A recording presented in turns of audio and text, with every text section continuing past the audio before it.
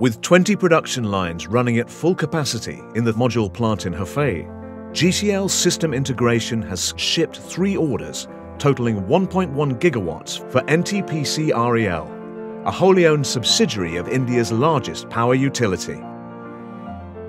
In a record time of four weeks, GCL SI executed this 1.1 gigawatt module order with exceptional manufacturing efficiency and quality. All the testing results during manufacturing process are proven to reach customers' quality requirements ensuring that the production of the order was performed to the highest standards.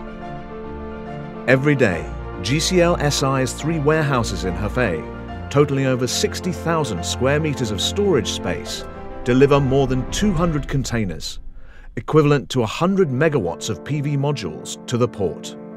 Loading a truck takes only 10 minutes. GCL SI has produced a superb result with the last vehicle heading from dock to the port. This is GCL Speed.